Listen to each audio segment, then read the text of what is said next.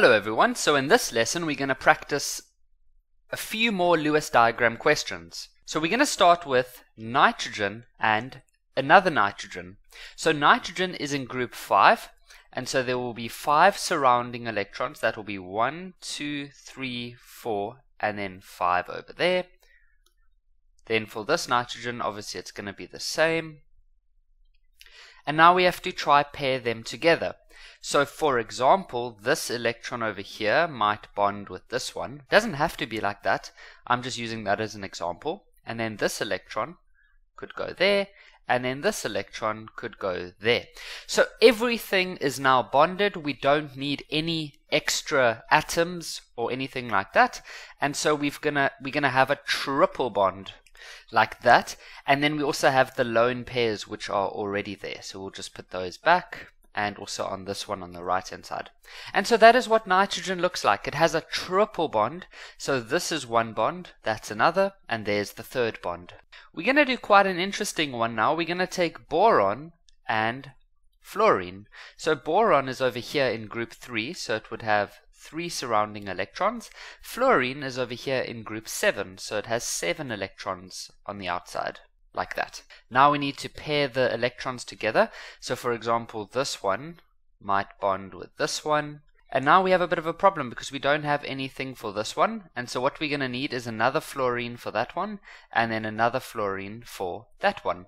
And so I've just quickly drawn those like that. So now you can see exactly what I mean. So for example, this one could bond there, this one could bond there, and then this one can bond there.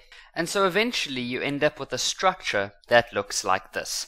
Now something that's interesting about this one is that if you look at the fluorines, they each have 8 electrons, which is good. But if you look at boron, it is only surrounded by 6. But that is okay.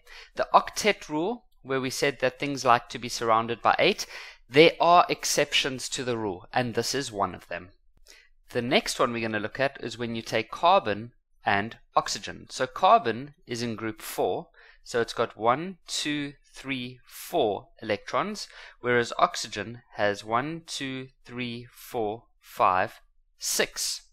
So we could imagine that this electron will bond over there, this electron would bond over there, and so these two electrons still need to be bonded. So we're going to need an extra oxygen. And so there I've drawn in an extra extra oxygen, so you could imagine that those two would maybe bond, and then those two will bond, will, will bond.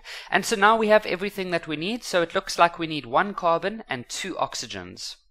And so we end up with something like this, where there is a double bond between each carbon and oxygen. So there's one bond and two bonds. So that's a double bond. And then there's another double bond over there. And so that's all for this lesson. In the last three lessons, we've covered the basics of Lewis diagrams.